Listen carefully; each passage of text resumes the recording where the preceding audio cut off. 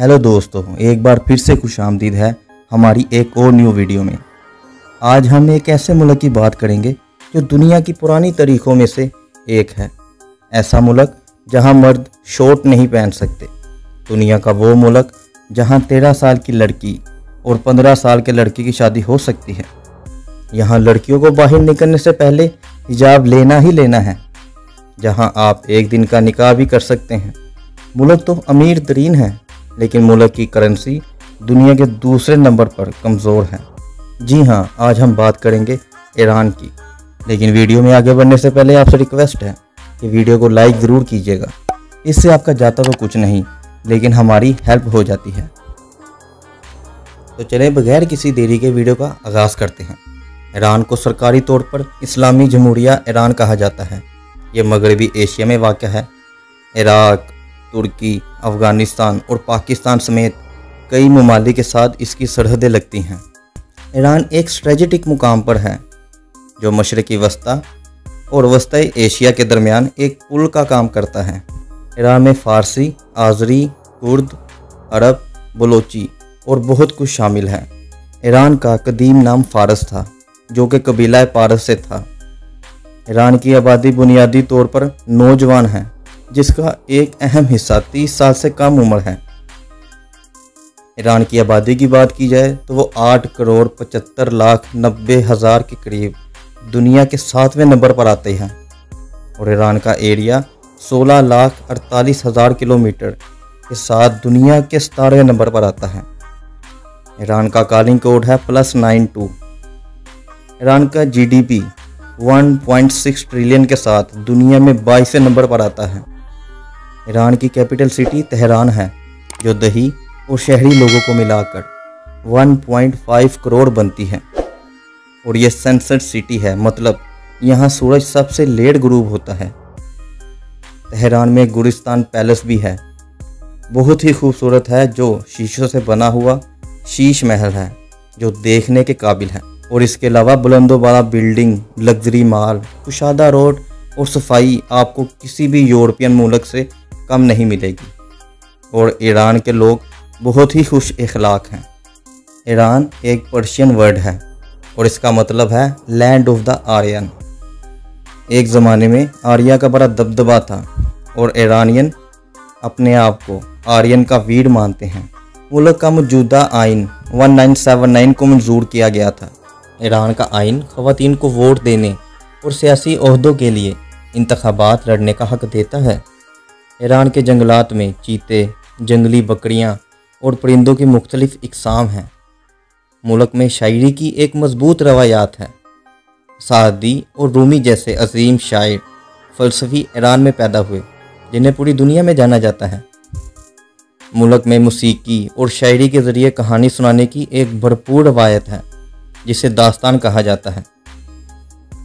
अब्बास कियारुस्तामी और माजद माजदी जैसे फ़िल्म साजों के साथ ईरानी सैनमा ने बैन अवी सतह पर जीराई हासिल की है।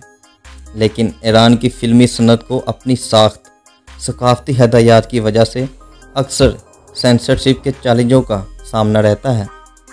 ईरान की फ़िल्म ए सप्रेशन ने 2012 में बेहतरीन गैर मुल्की ज़ुबान की फ़िल्म का एकेडमी अवार्ड जीता।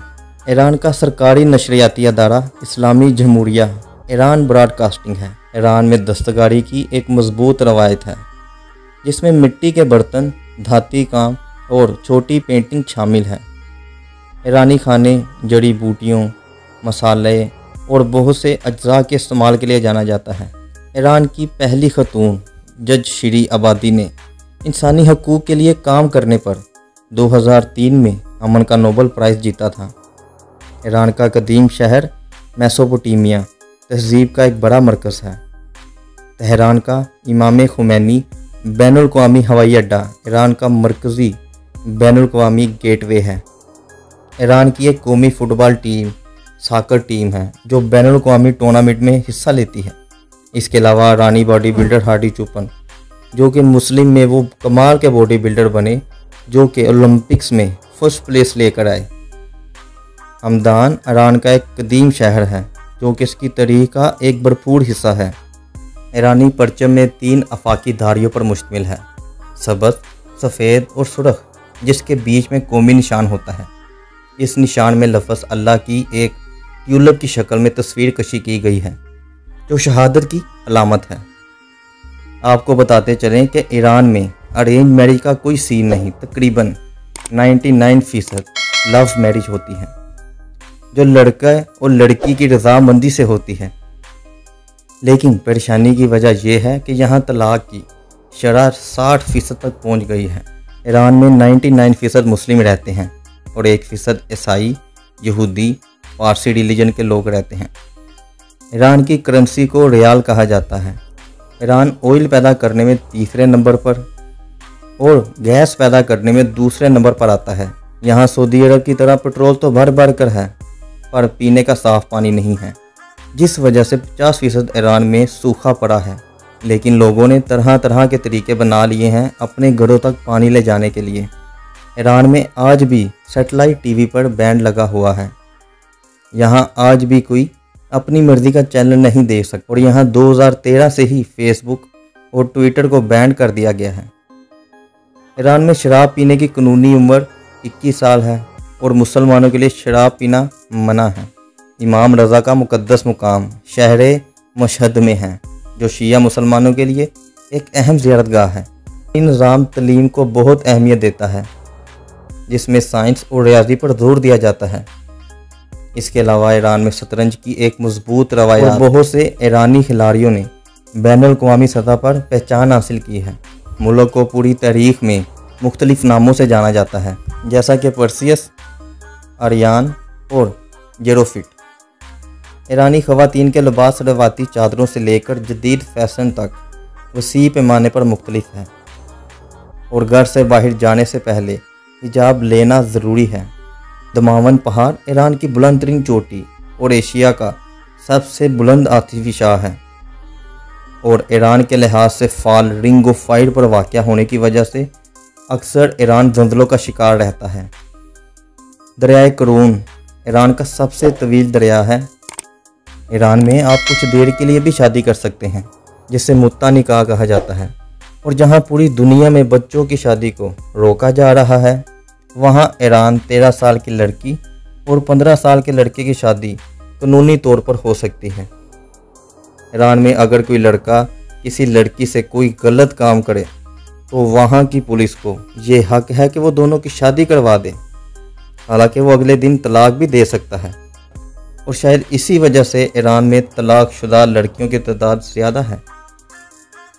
ईरान का सरकारी कैलेंडर शमसी हिजरी कैलेंडर है, जो कमरी इस्लामी कैलेंडर पर मबनी है।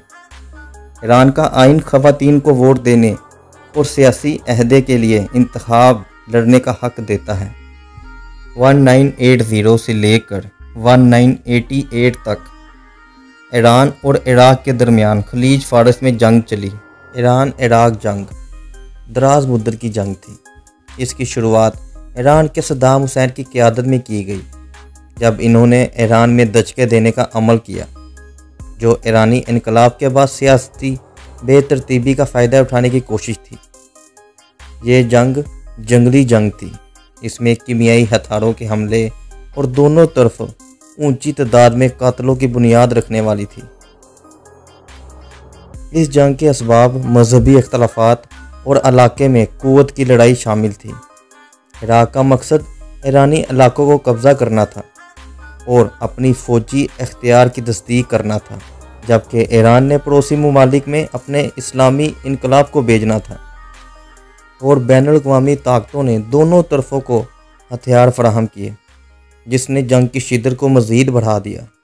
जंग दोनों ममालिक के मुआशी और इंसानी नुकसान की वजह बनी। जंग का अहतमाम उन्नीस सौ अठासी वन नाइन एट एट में इकवा मुतहदा के जेर अहतमाम भेजी गई सुलह की बुनियाद पर हुई। एक मुल्क जहाँ सब कुछ फ्री है और हाँ यहाँ बच्चा पैदा करने पर वहाँ की गवर्नमेंट आपको पैसे देगी। अगर इस वीडियो को देखना चाहते हैं तो इसे क्लिक करें। और अगर आप ये देखना चाहते हैं कि इसराइल कैसे पूरी दुनिया को कंट्रोल करता है विद अमेरिका तो उसे देखने के लिए इसे क्लिक करें।